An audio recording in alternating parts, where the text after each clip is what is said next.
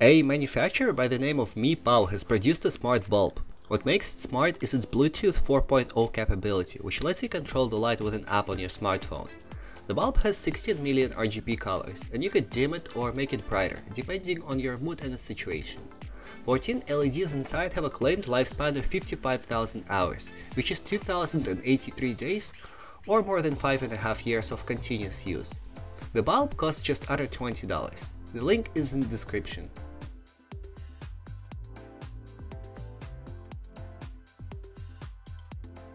Another cool thing is a levitating Bluetooth speaker. It floats about half an inch, or 15mm above the station while continuously rotating. You can grab it and carry it away with you. It is very original and is definitely going to attract attention. A truly portable projector. It actually is not just a projector, but a tiny computer with a built-in projector instead of a display. You can either upload files onto it, play them from a USB stick, or through a screencast.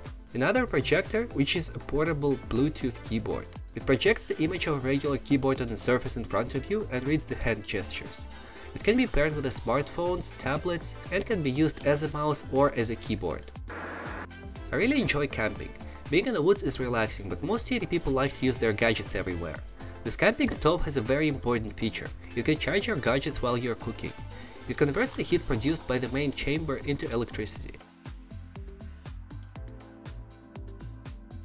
There is a USB output that provides an electrical current of 2 watts or 5 volts. The orange piece is removable and it can be conveniently packed inside the metal point.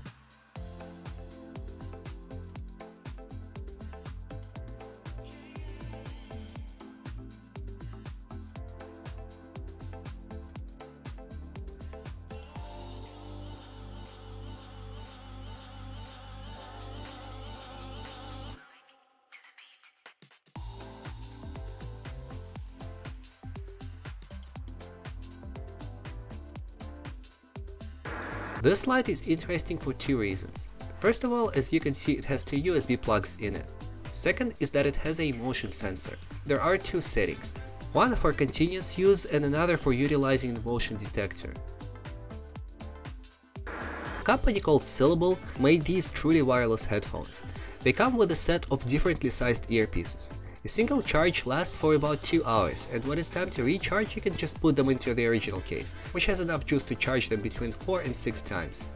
Okay friends, time for the giveaway details. Over the last 15 days we've had a total of 17 admissible entries that followed the submission rules. I put them into a spreadsheet, and now we'll use a random picker tool by classtools.net to select winners.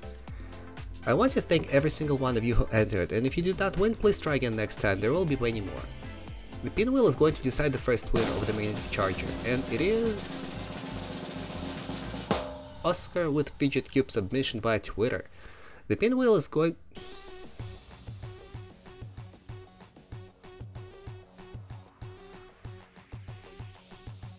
The second winner is, uh, this is a very close call. The second charger goes to Michael with a Xiaomi Smart Band 2 submission, also from Twitter.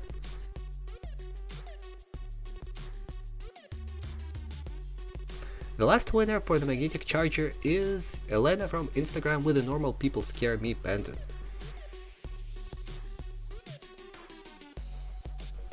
And the winner of a Xiaomi Smart Band 2 is the micro USB charging dock submission by Mitchell via Instagram. If you're still watching this video, thank you for that and don't forget we have videos every Wednesday. Cheers!